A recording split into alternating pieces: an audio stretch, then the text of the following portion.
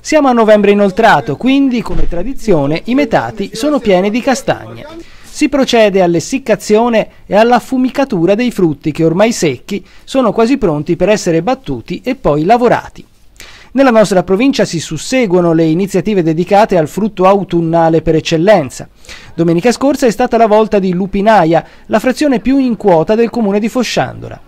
Anche quest'anno, grazie a un efficiente servizio navetta gratuito che permette di raggiungere il paese, sono stati in tantissimi coloro che hanno deciso di passare la giornata tra storia, tradizione e ovviamente gastronomia. Oltre alle caldarroste, i necci e anche alla possibilità di un menù tematico servito nella piazza d'ingresso del paese, abbiamo trovato un piatto molto antico che raramente vediamo servito in queste occasioni.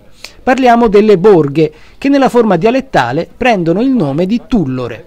Ecco le fasi di preparazione. Acqua, castagne secche, fogli di alloro, come si vede, fogli di alloro, vedi. Poi scorze di, di solito ci mettiamo di arancia oppure di mandarino per dargli un po' di... E, e poi 3 o 4 ore vanno bollite e stop. Dopo non c'è altro che da mangiare. Questo piatto nel passato veniva preparato molto spesso nelle abitazioni. Qualcuno metteva il latte anche nella fase di cottura, altri, come abbiamo visto, lo preferiscono messo a crudo nel piatto.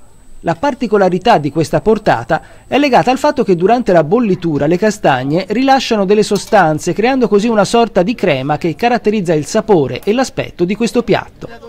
Ovviamente la manifestazione organizzata dal locale gruppo sociale si è arricchita anche di iniziative commerciali e culturali, come visite organizzate ai Metati vicino all'antico borgo per far capire tutte le fasi della lavorazione della castagna.